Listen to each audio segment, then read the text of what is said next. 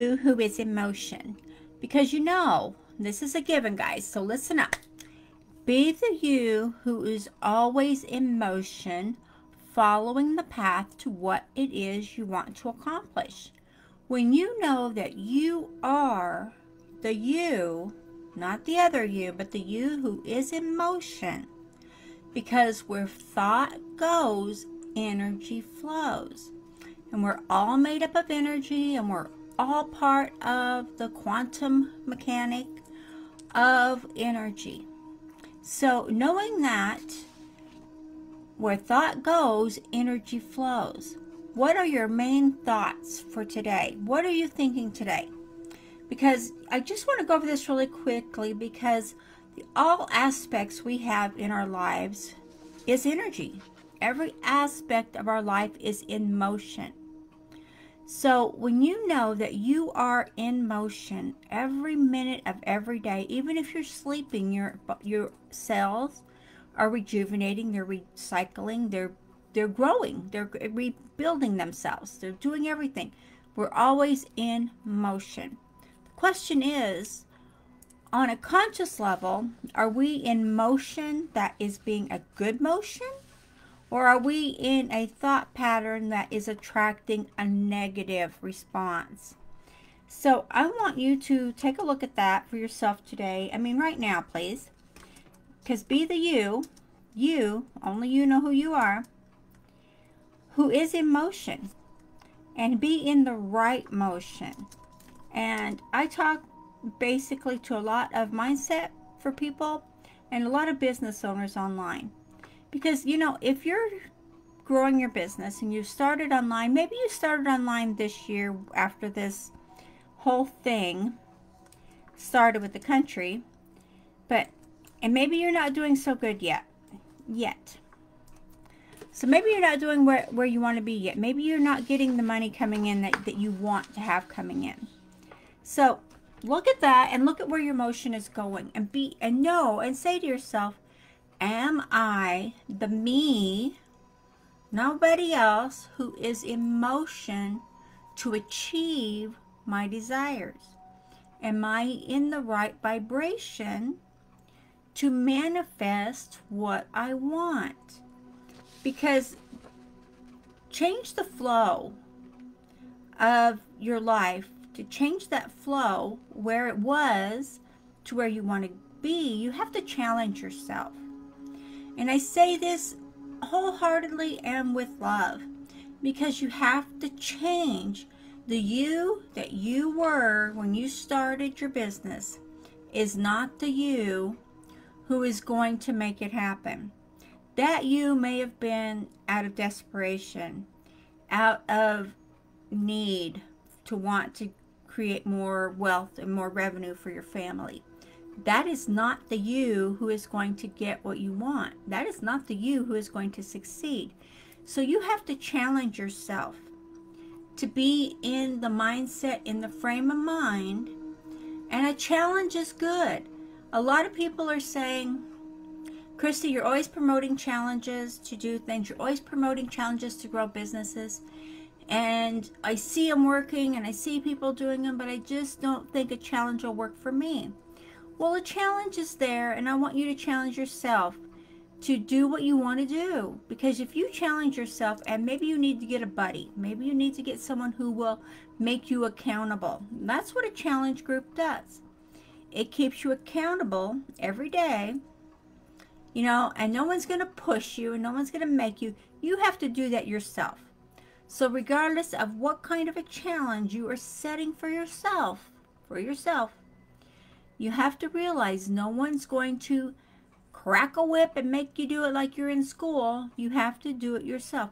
But if you have a buddy, if you're in a team, if you're in a group of people where everybody is succeeding and everybody is following through and doing it every day, won't that give you more incentive to do what what you need to do? Suppose you did that. Suppose you did that and you followed the guidelines and you followed the rules and you did everything, suppose you made a breakthrough. Suppose you got the next level in your business, which maybe is the first level. Maybe it's for getting your first sale. Maybe it's getting your system set up learning how to say the words, learning how to set your profile right, learning how to get attraction marketing working for you, whatever it is you need. Set yourself challenges. Set yourself challenges. And if you need to, get in groups of people who will hold you accountable. Because if you're not going to hold yourself accountable for what you're doing, then I suggest this will probably work for you because it's worked for thousands of people before you, is to get with someone who will hold you accountable. Who will say, okay, this was the lesson for yesterday. How many people got this done? That's holding you accountable. Whether you did or you didn't, you are where you are. No one's going to say, oh, Susie Lou didn't get it. Susie Lou failed. No, it's not going to happen. You want to be held accountable in a way that is in a business structure because you're a business owner. No one's going to treat you like a child. You don't want to get into a school form type thing where the teacher's going to hold you accountable like in a school form. That's not cool. But design the challenges that you need. What kind of a challenge do you need? Do you need challenge? Do you need to challenge yourself in maybe completing tasks? Do you need to challenge yourself in maybe you need to learn how to market because everything in the world is marketing, regardless of what it is. Everything comes back to marketing. So look at that. Look at how marketing works for the world and look at how it's working for the masses. Commercials are marketing. TV programs are marketing. Think about it. Look what they're teaching your children. It's marketing. Everything in the world is marketing. So if you're having a problem with marketing, maybe that needs to be one of your focuses. So always strive to get better and better. No matter where you're at, no matter how much revenue you have coming in, always strive to be better. Because what happens is you're not, maybe you're saying, well, I don't want to be greedy. I, I don't want to be greedy. Maybe there's not enough. There's more than enough wealth for everyone in the world.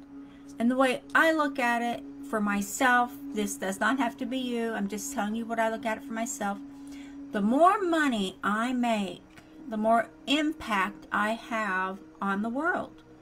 The more I'm able to help people, the more I'm able to give, the more I'm able to assist when something comes up for someone else, not just myself.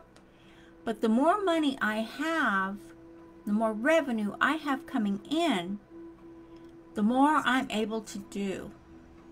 It's not so much just what I'm able to do for myself, but it's what I'm able to do for society, what I'm able to do to help the next person. Like, for example, if you've probably, you know, when you go out to eat or something and you notice that maybe your wait your waitress is, you know, maybe she's not feeling real well. I don't mean with the COVID thing. I said maybe she's maybe she's kind of sick or you know whatever's going on. Like a while back, I had a waitress that she was just struggling, you know, just having a really hard time walking and you know and everything. And I just, you know, when she was bringing my meal, and my husband and I, and we just asked her, you know, are you okay? You know, is everything all right? And come to find out, she was battling cancer. And it was like, oh man, you know, I'm so sorry. And she's, you know, got all this help and everything. That's great.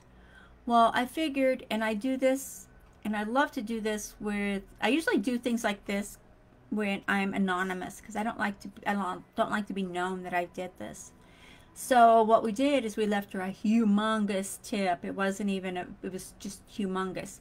And before we did, I asked her, I said, so do you share your tips with the group? Are you group tipped or are you individually tipped? She goes, no, we're individually tipped. We keep all of our own tips. So I wanted to make sure, first of all, that it wasn't going to go into a group tip. Because I wanted this money to go to her to help her, you know, with her treatments and with, you know, taking care of her family. So in doing that, of course, this time I had to be known. And I it was like, okay. So we did that and we gave her this really great um, help. And needless to say, she was very grateful and she was very appreciative. And she's like, oh my gosh, I can never repay this. And all I could say was, pay it forward. I want nothing back. Pay it forward. So, and then it was it was strange. It was really actually ironic because it was several years later when we came back to the in, to that town. We came back through and stopped at that same place to get a bite to eat. And lo and behold, powers that be put this woman as our waitress and she's like oh my gosh i remember you you helped me out so much when i needed help and you listened to me. That was the greatest gift i've ever had. And she is in remission. She's doing better. Her family's doing great. Needless to say sometimes you can do something great for someone else. It's just you know maybe it's a small thing. Maybe it's just listening to someone. And you can help them out so much. So that's where it comes into never stop striving for more. Never stop requiring more from your business, more revenue from whatever income streams you have coming in. Never stop striving because not so much what you can do for yourself, but what you can do for others.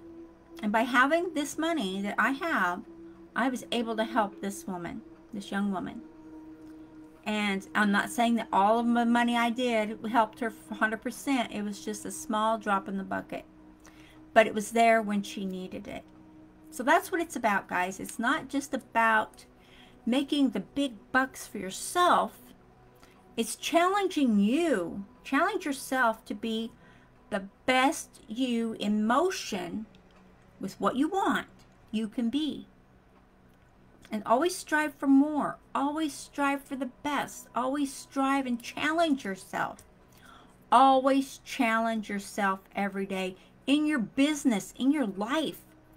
Challenge yourself. I have challenges for myself every day that I need to do, that I am doing, that I am succeeding at, that I am prospering with. Always challenges.